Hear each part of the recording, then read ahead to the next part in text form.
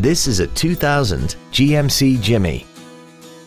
This crossover has an automatic transmission, a 4.3-liter V6, and the added safety and control of four-wheel drive. Its top features and packages include the convenience package and alloy wheels. The following features are also included air conditioning, a split folding rear seat, cruise control, a six speaker audio system, a leather wrapped steering wheel, a passenger side airbag, full power accessories, a rear window defroster, a CD player, and a power driver seat. This vehicle is sure to sell fast. Call and arrange your test drive today.